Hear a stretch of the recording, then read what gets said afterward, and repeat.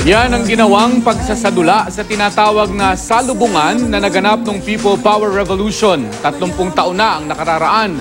Mahigit isang libong tauhan ng PNP at AFP at mga sibilyan ang lumahok dyan.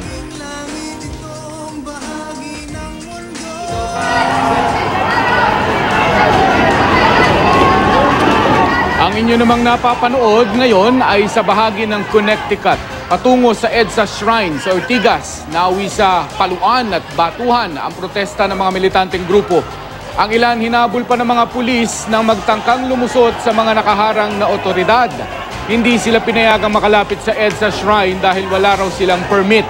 Isinabay ng mga nagkikilos protesta ang kanilang programa sa pagunita ng anibersaryo ng EDSA People Power Revolution para igiit na wala naman daw pagkakaiba ang panahon noong may batas militar at panahon ngayon ng Administrasyong Aquino.